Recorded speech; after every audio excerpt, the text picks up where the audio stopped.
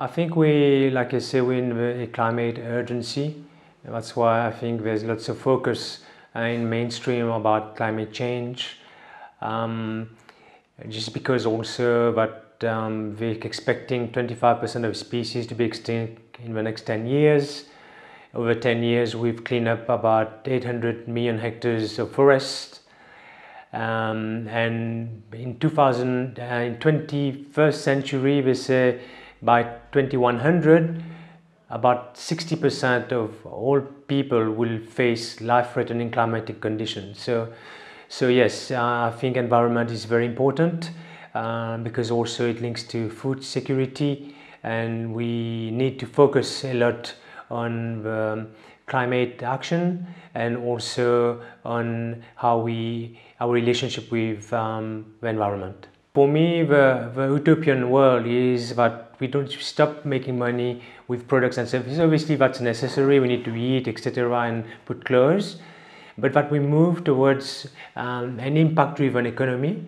So when we do we do good, then you get paid. Um, I mean, we've done that, say for example, for carbon uh, market. Uh, when we um, remove um, carbon, we have carbon credits, we can exchange it. Uh, we're more efficient, we can exchange it uh, for money. So that gives incentive to people to do projects which uses less energy. So that's impact related to, to, to, to, to money. Um, I think bonds, uh, green bonds, sustainable bonds, sustainability bonds, etc. For me, we need to link financial instruments definitely to, to impact. Because we've seen um, you know the triple bottom line corporates wanting to do um, as part of ESG environmental social governance etc but doesn't really move a needle that much.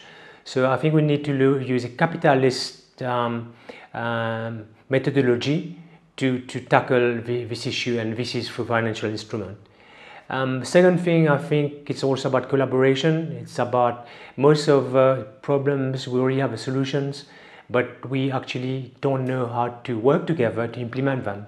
So that causes a lot of problem because we can't implement a project either you know uh, on a national scale etc so it requires collaboration with government with ngos with private sector and i think we don't do that well and if we can actually um, improve on that that would be um, a good thing.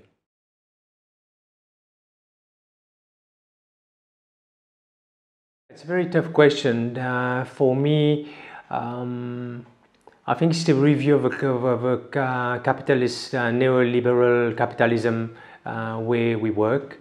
And I think it needs to be like a reframing of this.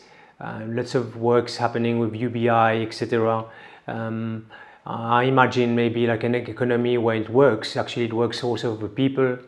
Um, there are already some systems around there. We thought about one thing about, you know, uh, for example, uh, like an Airbnb for the country where people comes and spend money in your country, then also instead of some shareholders in wherever uh, getting all the money, maybe it's, you know, part of a percentage of uh, commission uh, that we take should go to the people so so so for me it, it is yeah i mean uh, i'm not anti um, capitalism or anything you know i'm part of a system and and actually it worked worked well for me also.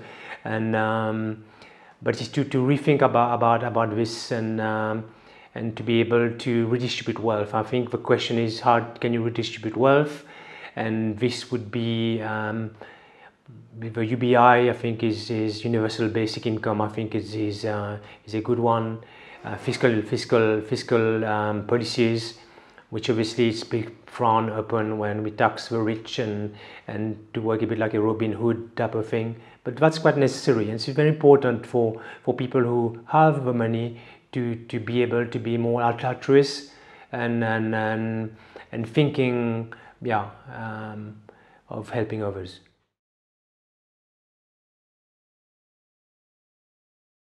I think um, a natural environment is, is very important. Um, I mean, what, I'm, what comes to my mind now is more um, when I look at climate action of SDG um, 13. Um, so yeah, there was a was an infographic that I've seen. Um, it actually touches all the SDGs. So climate actually has impact systemically on all the SDGs, obviously, you know, I mean, with poverty or hunger, um, etc. And I think um, the SDG framework has got about 230 indicators. There's about 70 of them where climate is, is directly or indirectly related. So it's, it's, very important. I mean, we see that in um, you know people being displaced, um, having like lots of rain. Um, look at education. You know, my kids can't go to school because it's raining outside. Um, I mean, this is just like very menial compared to the big problems that climate, um, um, yeah, the fires and the destruction, uh, all the crops. Um, today in Mauritius, uh, all the, the, vegetables are twice the price because uh, of the weather. And, uh, and, that causes problem to, to everyone, but mainly also for the farmers uh, who are forced to put these prices up to, to earn a living so yeah so it's very very important and i'm glad also that you know globally uh, people understand it now. I remember when i started my consultancy business um, more than uh, 10 15 years ago um, people yeah i had to explain to people.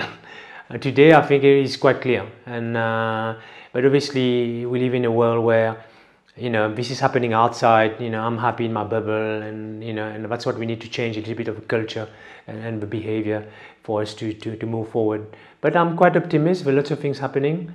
I hope i won't say you know too little too late. Uh, but yeah we need to to get to work and all together um, work towards um, fighting and for climate action or helping others and, and, and contribute to the SDGs.